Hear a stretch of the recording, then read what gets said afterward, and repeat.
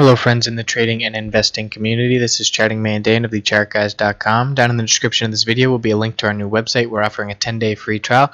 We're hanging out in the chat room live during market trading looking for key support breakdowns and breakouts of resistance.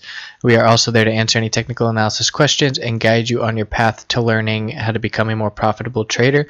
We'll be setting up a webca webcam in the near future to capture some live action as it unfolds.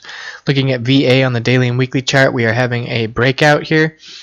Once the bulls were able to turn this 100 day moving average resistance into support, they exploded. We had a gap up and a continuation day on Friday. We had decreasing volume, so that's something to watch out on.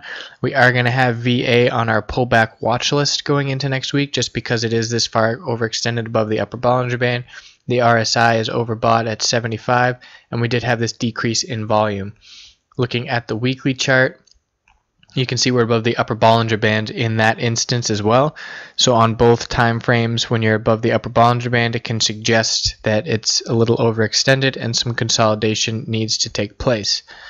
We are looking like we found a bottom here on VA at the $28 range.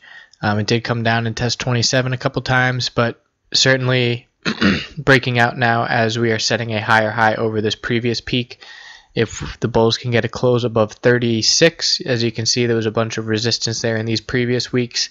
That will be a great sign that it's going to come back up and test these low 40s.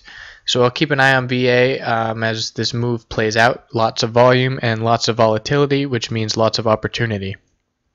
If you want to subscribe to my YouTube channel, you'll see these videos as I put them out daily. And again, the website is thechartguys.com.